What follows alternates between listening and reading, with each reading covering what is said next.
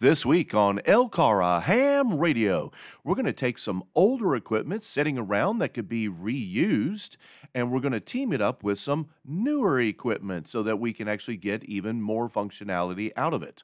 A G800 rotor from Yaesu and the Hy-Gain YRC 3. That's what's coming up this week on LCARA Ham Radio.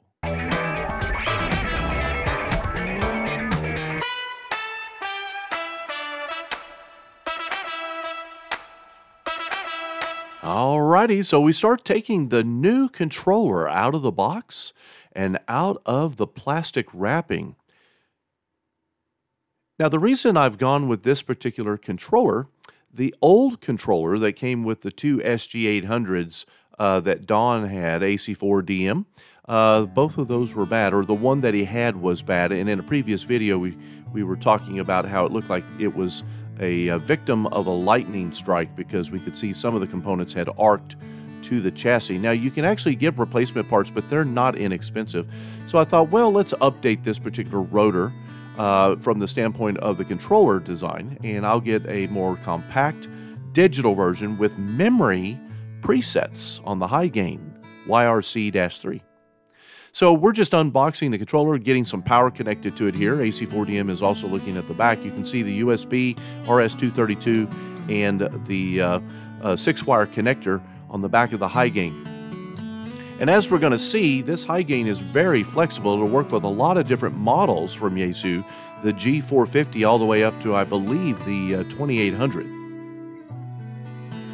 So Don goes straight to the instructions, and we should have looked at these a little bit closer uh, as, uh, as we'll see as we progress through the video, uh, we ran into some issues and we wondered if the rotors that Don had acquired actually were bad uh, because we couldn't uh, initially get them working with the controller, as we shall see. It's always a good idea to read the directions uh, before you start hooking things up.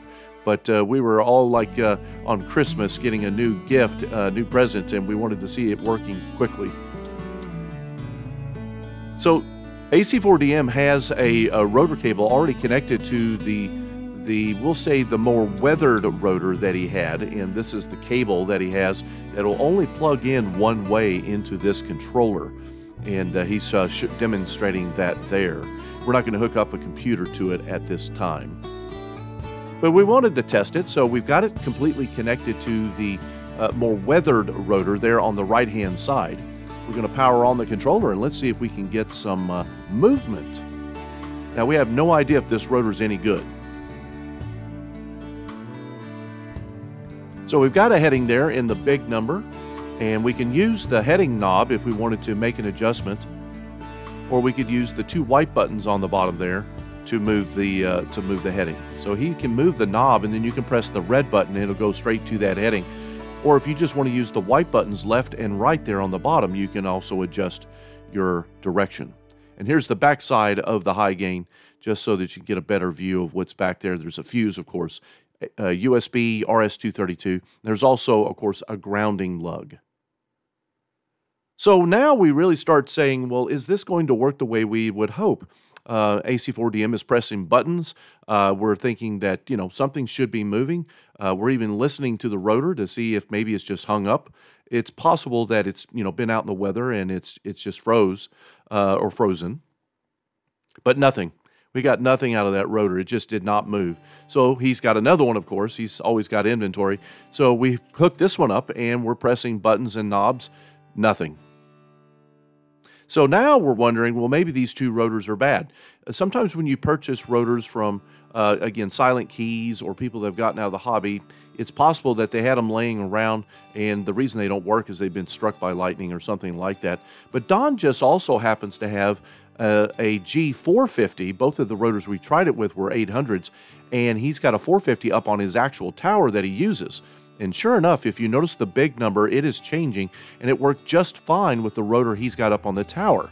What we hadn't made the connection with is that this controller will work with AC rotors and DC rotors. And the 800s are DC rotors, and the 450 up on his tower is an AC rotor, and the controller comes out of the box ready to work with an AC rotor.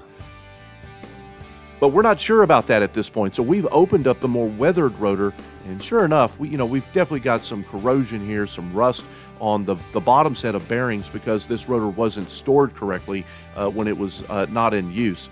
So we're not sure if this rotor maybe uh, you know had so much water intrusion that it's uh, maybe uh, burnt out.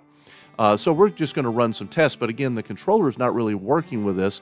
But now that we've got the housing removed, exposing the bearings, there's nothing to prevent the rotor from moving. So if the bearings were stuck, then we were hoping that the motor would run connecting it to the controller. Uh, again, not realizing that it's a DC rotor and the controller is set up for AC.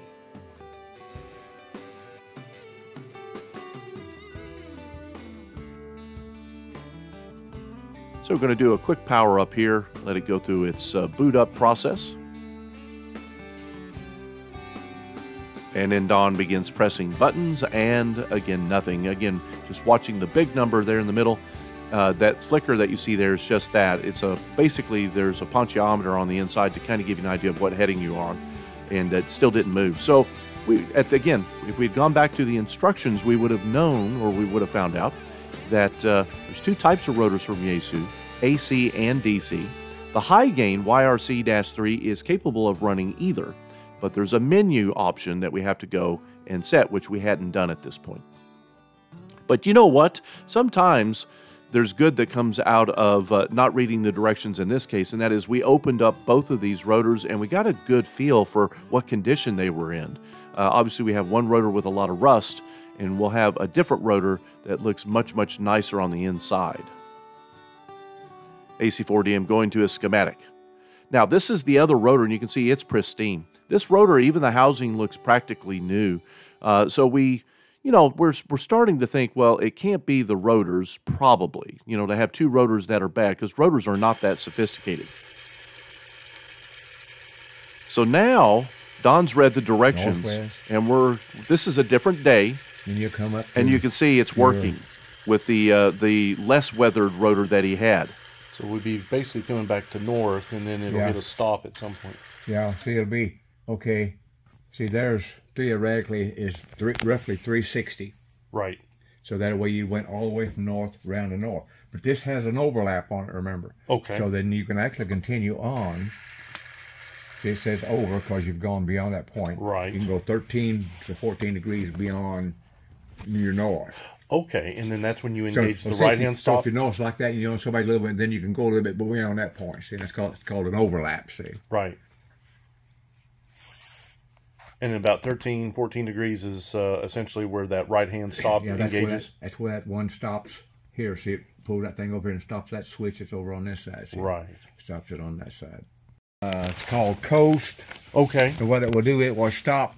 It will actually shut off two or three degrees and, and, coast on in because if you have oh. antennas there, it'll have a little weight that's centrifugal. Again, that inertia, right? Yeah, that, that'll pull you on over. So it's at this point that now that we have the controller set up for DC, uh, it works just fine. Actually, both rotors turn just fine. We just need to rehabilitate the one with the rusted bearings, but it worked just fine. So at this point, we're getting into the menu of the uh, the controller, the YRC-3. Uh, you can see here we've got call sign, we've got uh, north stop, we've got uh, uh, what else we got there? We got sleep state. There's a calibrate option, which in fact AC4DM is going to look more into the calibrate and just make sure that it is set up uh, as it should be from the factory. We also was looking at this coast option. Uh, another nice feature with this particular controller is you can use the heading knob as you see AC4DM using there. And instead of using the right or left buttons, if you just wanted to move a little bit, you can adjust your heading and then hit the red button it'll take you right to that particular heading. So uh, that can save you some time, and uh, that way you don't have to press the button all the time. A lot of times, those left and right buttons, though, are to help you to kind of dial in or get a little bit more ex exact direction if you were trying to pick up that contact, moving it a little bit to the left or a little bit to the right.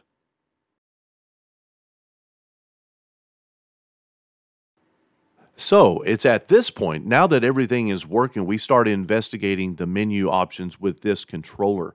Now, I haven't talked about the buttons along the right hand side, but one of the reasons I, I purchased the YRC 3 were for the memory presets.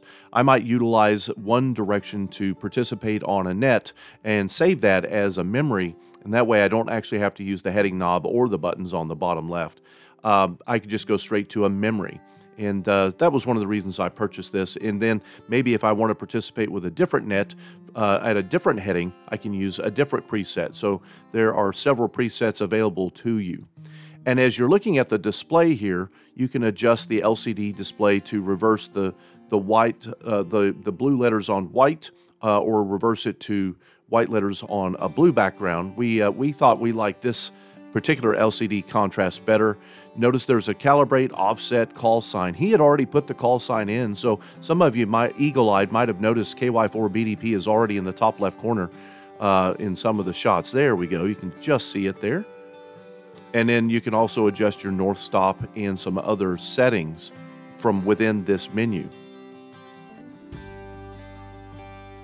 So at this point, it's just playing with some of these menu settings. Uh, you can go with the defaults, but usually you'll want to go in, make a couple of adjustments. And uh, in addition, because we had opened up the rotors, uh, we needed to go back and calibrate those to a particular heading so that the controller and the rotor are thinking the same thing when it comes to the potentiometer on the inside, uh, referencing where you're pointing. So I just adjusted the left stop there to south a south heading instead of a north heading.